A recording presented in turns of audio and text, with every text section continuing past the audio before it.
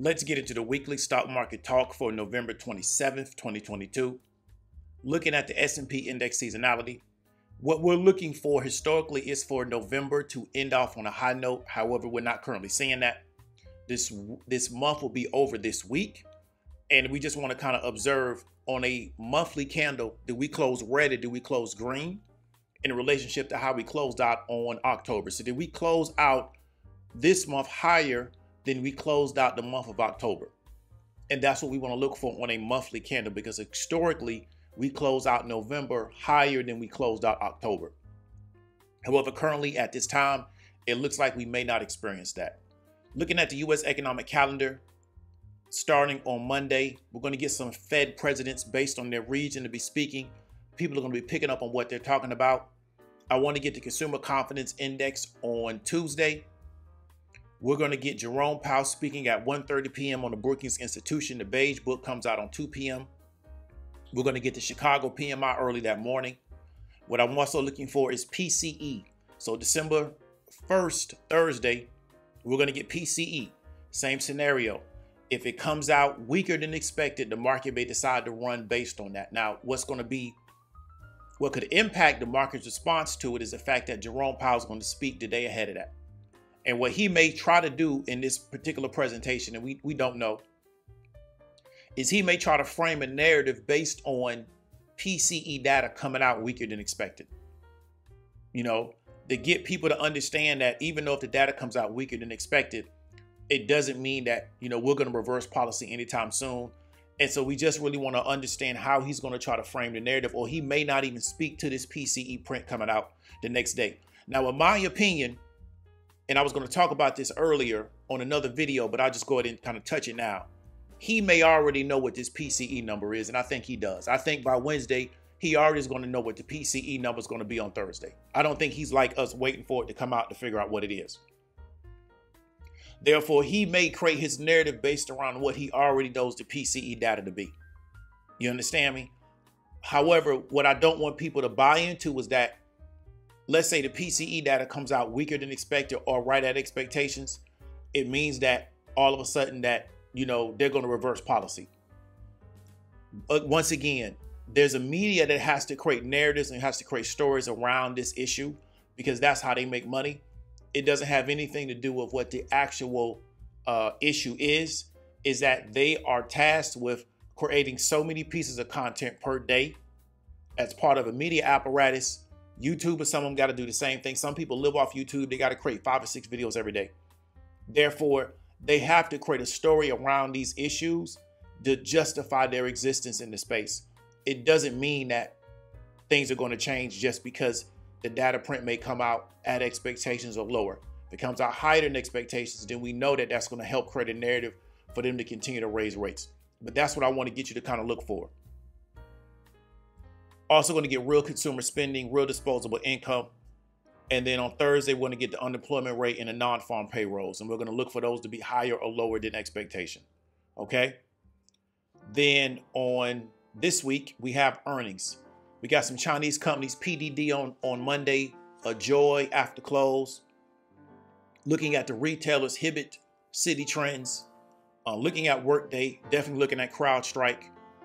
Looking at Petco, Hormel Foods, that's a good consumer discretionary brand. Snowflake after earnings on Wednesday. Salesforce, Splunk, Five Below, Victoria's Secret, Box, Thursday, Dollar General. Definitely their earnings are going to be really interesting. Same thing with Kroger, same thing with Big Lots. So those retail brands, their earnings are going to be very interesting because they're going to still give us some insight on how the consumer is dealing with the inflation. Lands End, another retailer, then we have Ulta Beauty, UPath, and Asana. Then on Friday, we have Cracker Barrel, which is like, a, if, I don't know if those are in your area, they're like a restaurant. It's going to be interesting to find out whether or not people are still eating out in that type of restaurant scenario because it's a sit down restaurant in this environment. Now, going into the charts, right? We're looking at the QQQ. What I just want to continue to show is that we sold down very aggressively uh, off this open at 320, 329, but it closed at 322.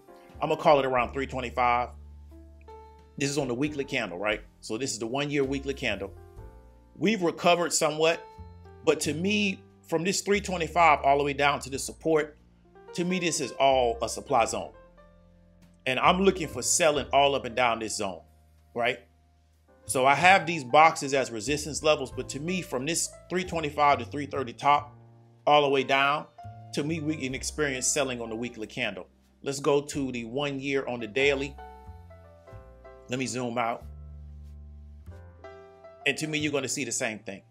Once we get around here, well, I still have a 325, but 325 to 330, in my opinion, you can experience selling all the way down until we hit the support level. Now, can you trade in this range? Yes. But to me, we experience so much selling in this range right here. And we saw we, we hit here, we bounced it, we came back down, we hit it again. We bounced up somewhat, but we still haven't moved back aggressively back towards that 325. And that's something I want to look for. So to me, this week can be a, a catalyst to either move us closer to the 325, but we still haven't got over it. So let's say we we close that 286. Let's say over the next week, let's say the next two days, we get to like 305. People are going to be yelling and screaming. It's very bullish. But what we see here is what we do? We open at 308, we close at 310, and then we saw it all the way back down. And to me, so there's a, to me a lot of bull traps, or some people call them bear traps. But to me, there's a lot of traps for bullishness in this, I would say 265 to 260 range, all the way up to 325, where you can get a lot of trading volatility. You can get caught on the wrong side of the trade because you think that we're in an upturn. But what we've seen is that we've sold down from 325 or 330 really aggressively. And we've just been trading in a range between maybe 260 and 300 the past few weeks or the past few days. Let's go to the SPY, and we're going to see pretty much the same thing on the SPY chart. So at around this 422 to let's say 4, um, say 420 to 425, we sold down very aggressively all the way down to the 357. This is on the weekly candle. We moved back up, but we have not regained back to this previous point before right? So what do we see? We saw 450 sell all the way down to what is this? What number is this? Let's say 357, let's say 360. Move back up to 425, sold all the way back down again, and then we haven't regained the 425. This is on the weekly candles. Going to the one year on the daily. Let me zoom back out. Same scenario, right? Really hard sell off here. We gain this, Chart looks almost similar to the QQQ. Hit the 410, sold all the way back down to, let's say, the 360. And then we haven't gotten back. So to me, around here is where there's some resistance. I want to see that we regain it, but I know that we sold off very aggressively on this 410 close. So this is a bullish day. We sold off really aggressively on the 410 close. So if we move up, what do we close at? We close at 402. If we move back up over the next week, I need to see that we sell off again around 410. If we don't, do we sell off again around, let's say 419, 420? Then the same thing for like maybe 425 to 430. Because what do we see all in this range? Just a lot of selling. And what is going to be the narrative that's going to make people want to push this back up over that 425 mark. So from here to here, right, so from 360 to 425, we can just trade in this range the next to the end of the year and you'll see a lot of volatility, a lot of people getting caught on the wrong side of the trade because they think we're bullish or we're bearish now.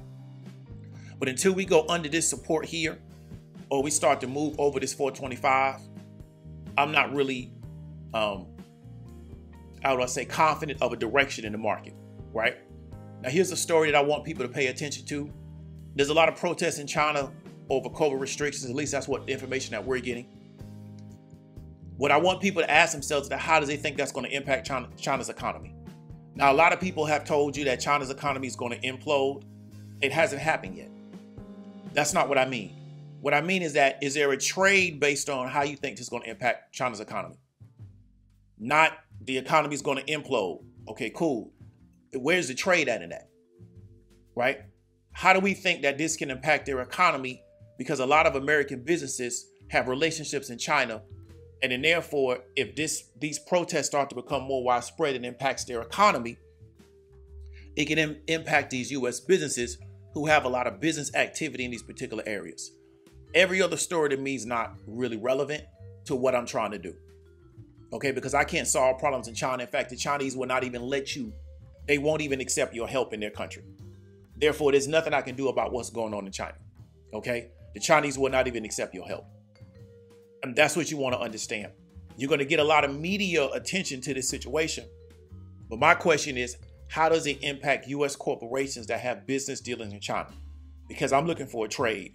I can't do anything about anything else because, once again, I repeat myself, the Chinese government will not even accept your help, right? They want to handle their own situations internally. So, whatever's going on over there, they're going to have to work that out. Hope you got some value from it. David W. Williams, also known as Diamond Dave. Hit me up in the comments. Talk to you later.